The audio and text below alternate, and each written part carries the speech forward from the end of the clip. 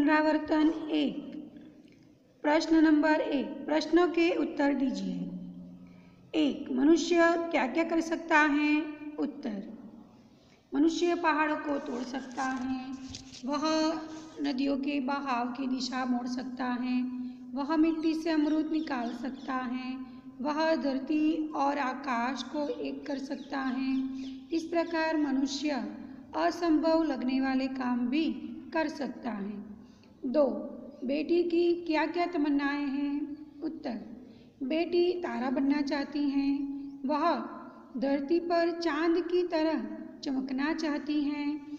उसकी इच्छा दुनिया रूपी बाग में खिलने वाला फूल बनने की है। वह तितली बनकर हवा को चूमना चाहती है। इस तरह बेटी के दिल में कई तरह की तमन्नाएँ हैं। तीन राजकाज का काम कैसे अच्छी तरह से चल सकता है? उत्तर, हज़रत अली राजकाज के लिए राज की मोमबत्ती जलाते थे। अपना काम करने के लिए वे राज की मोमबत्ती बुझाकर अपनी मोमबत्ती जलाते थे। निजी काम के लिए राज की मोमबत्ती जलाना उनकी नज़र में चोरी और हरामखोरी थी। यदि हज़रत अली जैसी प्रामाणिकता रखी जाए तो ही राजकाज अच्छी तरह से चल सकता है। चार, चौथी स्त्री का बेटा सचमुच हीरा था। क्यों? उत्तर, चौथी स्त्री का बेटा बहुत ही सीधा, सादा और सरल स्वभाव का था। उसने देखा कि माँ सिर पर पानी से भरा घड़ा उठाए आ रही हैं तो उसने अनदेखा नहीं किया। वह माँ के पास गया और घड़े को उसके सिर से उतारकर अपने सिर पर रख लिया। घड़ा लेकर वह घर की तरफ़ चल पड़ा। इस तरह अपनी माँ के प्रति सच्चा सेवा भाव दिखाकर उसने खुद को सच्चा हीरा साबित कर दिया। पाँच, आप माता पिता को कौन कौन से काम में मदद कर सकते हैं? उत्तर, मैं माँ के कहने पर बाज़ार से चीज़ें ला, लाता हूँ। इन चीज़ों में शाक, सब्ज़ी, दवाइयाँ, फल तथा अन्य वस्तुएँ होती हैं। मैं घर की साफ़ सफ़ाई में भी माँ की मदद करता हूँ। पिताजी के लिखे पत्र डाक खाने की पत्र पेटी में डाल आता हूँ। धोबी के यहाँ से उनके कपड़े ले आता हूँ। उनके कहने के अनुसार खाने, पीने की चीज़ें लाता हूँ। इस प्रकार घर में मैं अनेक कामों में अपनी माता पिता की मदद करता हूँ। मित्रों, आप अपने माता पिता को इसके अलावा और भी कई सारे काम हैं, जिसमें आपको मदद करनी और आप करते भी हैं प्रश्न नंबर छः, डॉक्टर कलाम ने ईमेल से हमें क्या सीख दी है उत्तर, डॉक्टर कलाम कहते हैं कि हम सरकार चुनने के लिए मतदान कर निश्चिंत न हो जाएँ। हम ऐसा न सोचें कि अब हमारी सारी जिम्मेदारियाँ चुनी हुई सरकार उठाएगी, हमारे सारे काम सरकार करेगी और हमें कागज़ भी कूड़ेदान में डालने की तकलीफ़ नहीं उठानी है। सामाजिक समस्याओं के बारे में भी हमें अपना स्वार्थ नहीं देखना है। बाहर से दहेज का विरोध कर चु, चुपके से दहेज ले लेना बहुत ही गलत बात है। इस प्रकार ईमेल से डॉक्टर कलाम ने हमें एक सच्चे नागरिक के रूप में अपनी जिम्मेदारियाँ निभाने की सीख दी है। प्रश्न नंबर दो, रूपरेखा के आधार पर कहानी लिखिए मित्रों, यहाँ रूपरेखा दी गई है। उसे पढ़कर हमें कहानी की रचना करनी है। एक चरवाहा, जंगल में बकरियाँ चराने जाना, एक बकरी का दूर चले जाना, भेड़िए का आना, बकरी को खाने की इच्छा। बकरी को गाना गाने की इच्छा। मैं मैं करना। आवाज़ सुनकर चरवाहे का लाठी लेकर आना। भेड़िए का भाग जाना। बकरी की जान बचना। सीख। कहानी को उचित शीर्षक दीजिए। मित्रों, यह जो रूपरेखा है, उसे अच्छी तरह से पढ़िए और कहानी का विस्तार कीजिए। यहाँ देखिए, मैंने जो कहानी लिखी है, वह ध्यान से पढ़िए। शीर्षक पहले हमें देना है, बकरी की चतुराई। फिर हमें कहानी का विस्तार करना है। एक चरवाहा था। वह रोज बकरियाँ चराने के लिए जंगल में जाता था। एक दिन एक बकरी घास चरते चरते कुछ दूर निकल गई। उसने किसी के गुर्राने की आवाज़ सुनी। उसने सिर उठाकर देखा तो सामने एक भेड़िया खड़ा था। भेड़िया बोला, मुझे बड़ी भूख लगी है। अच्छा हुआ तू यहाँ आ गई। अब मैं तुझे खाऊँगा। बकरी पहले तो बहुत घबराई। फिर उसने हिम्मत से काम लिया। वह बोली, आप मुझे खाना चाहते हैं तो कोई बात नहीं, परंतु पहले आप मेरा एक गाना सुन लीजिए। भेड़िया बोला, चलो, ठीक है। सुना, तू अपना गाना। बकरी ज़ोर ज़ोर से, मैं मैं करने लगी। आवाज़ सुनकर चरवाहा लाठी लेकर वहाँ पहुँचा। उसे आता देखकर भेड़िया भाग गया और बकरी की जान बच गई। फिर अंत में हमें सीख लिखनी है कि इस कहानी से हमें क्या सीख मिलती है।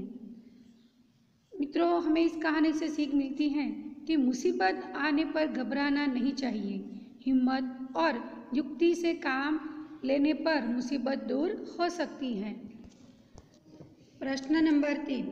अपने विद्यालय में मनाए गए प्रजासत्ताक दिन के बारे में जानकारी देता हुआ पत्र अपने मित्र को लिखिए।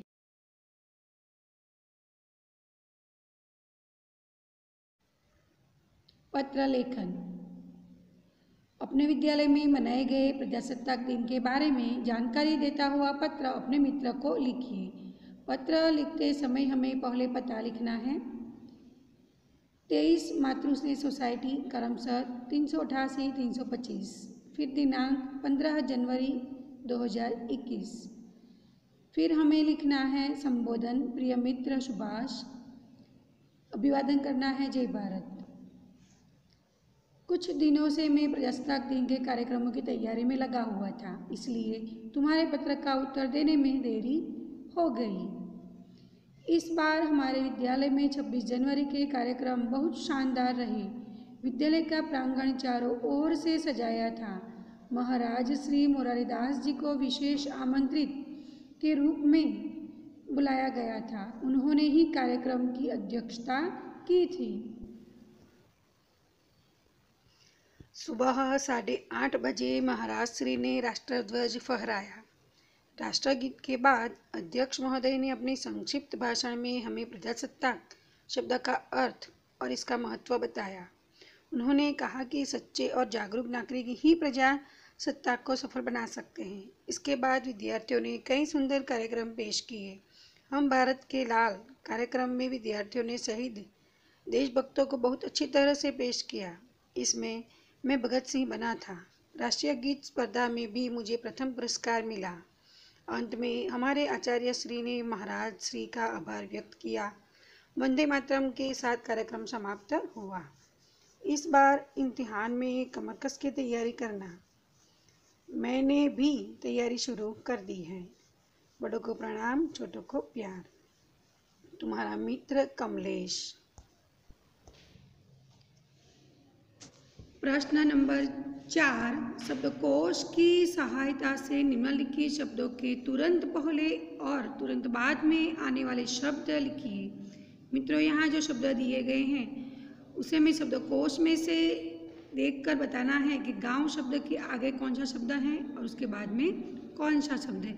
इस तरह सभी शब्दों के आगे और पीछे आने वाले शब्द लिखने हैं। यहाँ देखिए, गाँव शब्द के आगे आता है गंभीर्य गाँव शब्द के शब्द के बाद गांवटी। फिर शब्द है कसाई। कसाई शब्द के आगे शब्द, शब्दकोश में होता है कसा और उसके बाद होता है कसाकस। तीसरा शब्द है हास्य। तो उसके आगे शब्द होगा हासिल और उसके बाद में हास्यास्पद। चौथा शब्द अभ्यस्त। उसके आगे शब्द हमें मिलेगा असित और बाद में अव्यक्षित फिर पांचवा शब्द समुदाय। तो शब्दकोश में हमें समुदाय के आगे का शब्द मिलेगा समुदाय। और समुदाय के बाद शब्द मिलेगा समुदित। इस प्रकार हमें शब्द लिखने हैं। प्रश्न नंबर पाँच। निम्नलिखित शब्दों को संज्ञा, सर्वनाम और विशेषण में वर्गीकृत कीजिए। मित्रों, यहाँ जो शब्द दिए गए हैं हमें उन्हें तीन भागों में विभाजित करना है। यहाँ देखिए। इस तरह हमें शब्दों को वर्गीकृत करना है। यहाँ देखिए, संज्ञा, सर्वनाम, विशेषण। संज्ञा में कौन से शब्द हैं? तो नर्मदा वही सेना, अग्नि, मनुष्यता। ये सारे शब्द संज्ञा शब्द हैं। सर्वनाम, क्या, जिसको, हम, यह। विशेषण। थोड़ा ज़्यादा सुंदर सातवा कहीं। तीनों, मोटा, ये सारे शब्द विशेषण हैं। यहाँ जो शब्द दिए गए हैं, हमें इसी तरह वर्गीकृत करना है। प्रश्न नंबर छः, निम्नलिखित काव्य पंक्तियों का भावार्थ लिखिए। मित्रों, यहाँ काव्य पंक्ति दी गई है, उसका भावार्थ हमें लिखना है। धरती सा धीर तू है अग्नि सा वीर। तू जो चाहे काल को भी थाम ले। इस पंक्ति का भावार्थ है, हे मनुष्य, तुझ में धरती जैसी धीरज है। तुझ में अग्नि जैसी शक्ति है। तू चाहे तो काल को भी रोक सकता है। दूसरी पंक्ति, निज को तू जान, जरा शक्ति पहचान। तेरी वाणी में युग का आह्वान है रे। इसका भावार्थ है तू अपनी शक्ति को पहचान। तेरी वाणी में युग की ललकार है। तेरी आवाज़, सारे युग की आवाज़ है।